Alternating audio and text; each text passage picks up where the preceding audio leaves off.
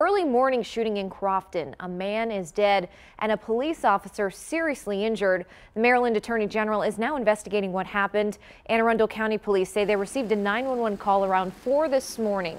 A woman reported that her adult son assaulted her and refused to leave the house. When officers got to the home on Danville Court, they found her and her son locked in a bedroom. Police say the man resisted arrest. They fired a taser, but it was ineffective. At some point, an officer was seriously injured, the same officer who fired his weapon, shooting and killing the man. The officer was rushed to shock trauma.